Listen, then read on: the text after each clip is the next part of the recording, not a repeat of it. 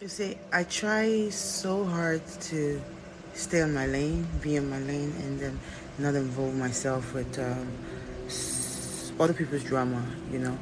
And eh, sometimes even when my name is involved in drama, I just, you know, skip it. Um, that's to say that, uh, I mean, I have an opinion, but I don't have to have an opinion on everything. And uh, even when I do, I don't have to voice it out. It's unnecessary, you know, especially when it's about other people's lives.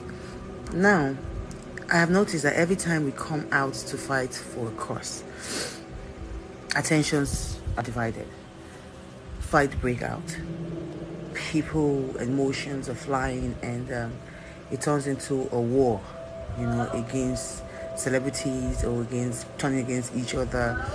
That's not the purpose and that's not the goal.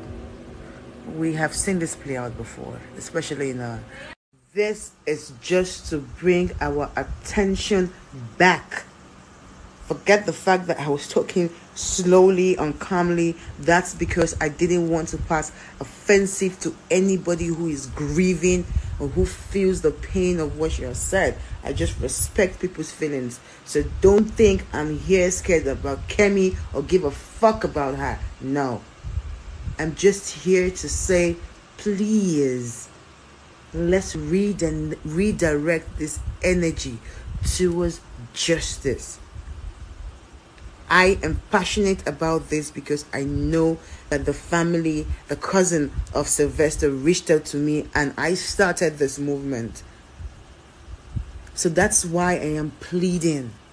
I am not in Lagos. You all are in Lagos representing everybody who is fighting. So once you're fighting and shifting attention. I think what I'm trying to say is we fighting ourselves over the fact that someone said something wrong about the little boy that we're trying to get justice for has overtaken the right for justice for Sylvester.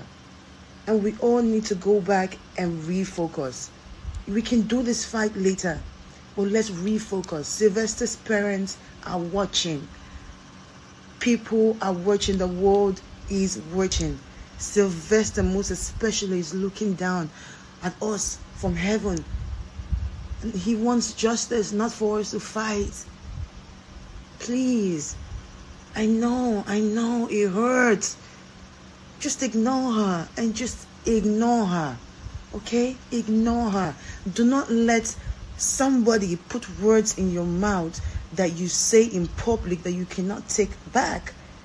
If you say you beat her and somebody um, just to point this out, I am not here in support of Dr. Kemi. I don't care about her. In recent times, she has put out things that I have been totally against. But like I said, I don't have to have an opinion about other people.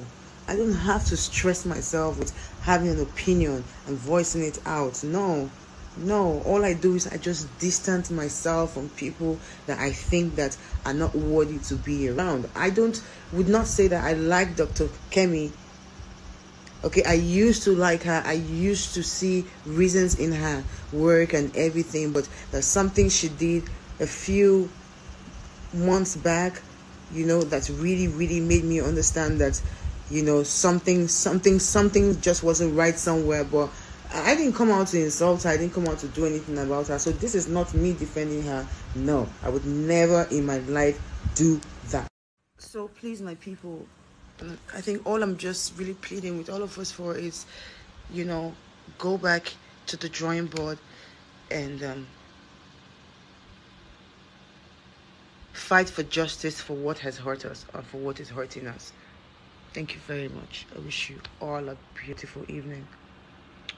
I've seen this play out in uh, Princess's um, case, where everybody was so hyped and fighting for the case, and um, uh, eventually it turned out into a, a circus where uh, we were fighting, you know, making jest of ourselves and, you know, throwing words that we shouldn't and um, uh, hurting ourselves with our words. And the truth is, after all of that happened, nobody really chased the case. Everybody became so hurt about what this other person said to me. The attention was divided, and um, we, we didn't win. And the same thing is happening again for Sylvester. This is a 12 year old boy. Why are we fighting? If someone said something that it's wrong at this time that we're all grieving, and you know, for me, I just say ignore her. Ignore it. If you say that you're going to beat up Dr. Kemi, just probably you're just saying it out of anger but some other group of people will take it serious and do it on your behalf and tomorrow they say it's you that did it they'll take advantage of your words that you have said online and they say it's you that have, have done it let's really be careful and especially this is a sensitive matter that involves a 12 year old boy please i'm pleading with everybody i mean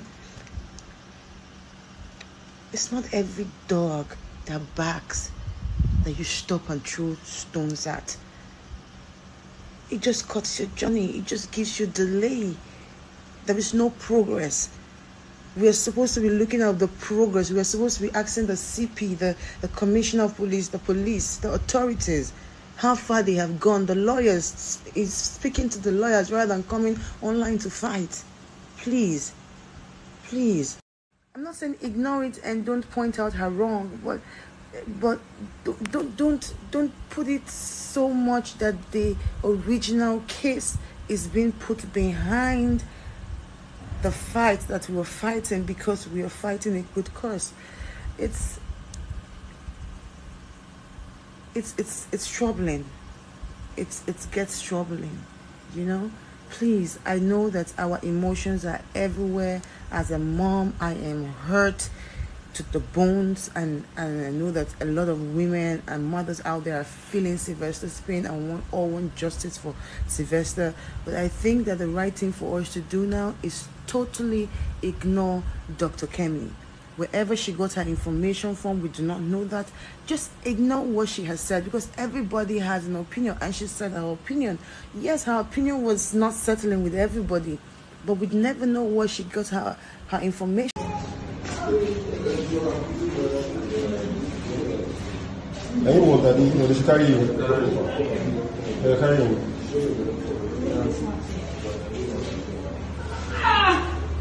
Sorry,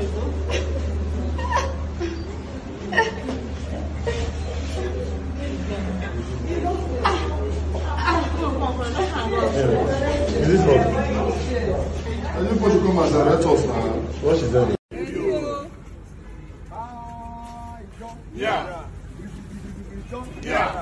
Asa wana. Wana.